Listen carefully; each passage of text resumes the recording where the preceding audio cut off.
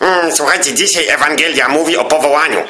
Dlatego stwierdziłem, że najlepiej porozmawiam z kilkoma moimi znajomymi księdzmi, którzy powią o swoim powołaniu. Mm, Teraz zadzwonię do mojego kolegi księdza Mateo. Chwileczkę, wezmę telefon. Mm, Cześć, witaj.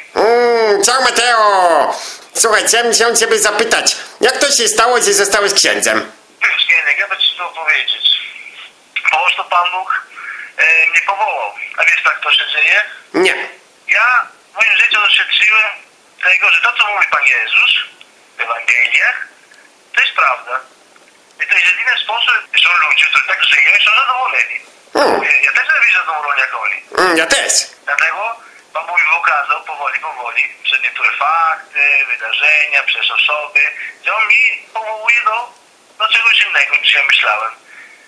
Do tego, żeby się oddać całkowicie Jemu. I że to Mm, świetnie. Mm, to zupełnie inaczej niż ja. Bo ja któregoś dnia po prostu obudziłem się w habicie. ty miałeś większe szczęście, bo nie miałeś szukać, już miałeś. O, super! Mm, Dzięki Mateo. Na razie, cześć. Cześć, dzięki, cześć. Widzicie? Z powołaniem bywa różnie. Teraz zapytamy jednego mojego znajomego księdza. Mój stryj był księdzem, ja byłem ministrantem, przyglądałem się, jak odprawiałem mszę i w domu siostrzyczki dawały mi te fartuszek, jak mam fartuszek, sprawiałem tak jakby na jakieś nabożeństwo. Od dziecka miałem tą chęć zostania księdzem. O, oczywiście, bardzo dobrze, wielka łaska i posługa, że mogę służyć ludziom jako kapłan. Teraz zapytam księdza Arkadiusa, jak to się stało, że ksiądz został księdzem. Kiedy jeszcze chodziłem do szkoły podstawowej, kiedy zostałem em, ministrantem, to chciałem bardzo Panu Jezusowi służyć.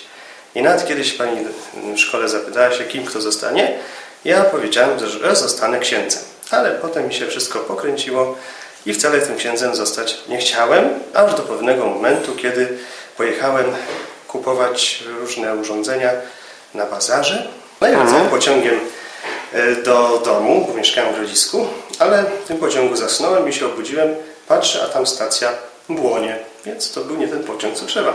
Więc wysiadłem z tego pociągu i poszedłem do najbliższego kościoła, myśląc sobie, no tak, w życiu też tak mi się poukładało, chciałem dojechać do domu, ale się pogubiłem, no i myślę sobie, trzeba zmienić tor życia. Stanąłem w kolejce do konfesjonału i wyspowiadałem się z całego życia i wtedy kamień serca mi spadł. I wtedy zaczęły się dziwne rzeczy. Otóż Słowo Boże było bardzo takie żywe. Kiedy otwierałem codziennie Słowo Boże, ono mi odpowiadało, co dzisiaj się działo. I zostałem zaproszony na wyjazd do Teze i po tym wyjeździe 20 lat temu podjąłem decyzję, że jednak nie pójdę na Politechnikę, a już tam papiery składałem, tylko pójdę do seminarium i zostanę księdzem. I jest ksiądz zadowolony? Bardzo, i to bardzo. Mm, Przyszliśmy do naszej jednej siostry zakonnej, która się nazywa siostra Halinka i ona też wam powie jedno zdanie na temat tego, jak została zakonnicą i jak odkryła swoje powołanie. Mm, Szczęść Boże, siostro. Cześć Boże. Mm, Jak to się stało, że siostra została siostrą zakonną? Po prostu pan. I już się nie mogłam doczekać. I wreszcie poszłam do zakonu. Jest siostra zadowolona? O, oczywiście. Szkoda, że ja nie mogę zostać siostrą zakonną. Mm, Teraz spotkamy naszą siostrę Izę. Mm, Szczęść Boże, siostrze. Szczęść Boże. A jak to się stało, że siostra została siostrą zakonną? Hmm, ja nigdy nie chciałam zostać siostrą zakonną, ale pojechałam na rekolekcję Mhm. do Krosna i tam rekolekcję prowadził ojciec Andrzej Prugar. Modliłam się, żeby Pan Jezus mi podpowiedział, co mam zrobić. Mhm. I wylosowałam obrazek, Panie, co chcesz, abym uczynił. I na dole pisało, pójdź za mną. I wtedy zdecydowałam się pójść do klasztoru. Mm, Jest siostra zadowolona? Bardzo. Widzicie? Najważniejsze to słuchać głosu Pana Boga. Pan Bóg mówi w różny sposób.